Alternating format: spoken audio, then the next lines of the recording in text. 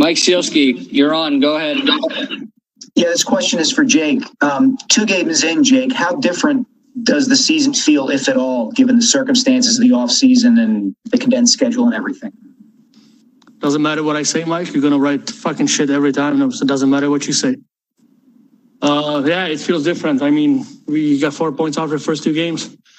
Uh, I, I wasn't even gonna answer your question because you are such a weasel. It's not even funny. Next question. Charlie O'Connor, you're on with Jake and Travis. Go ahead. Uh, Travis, uh, in game one, um, you obviously almost had that goal. It went off Oscar's head. Um, how good did it feel to get back on the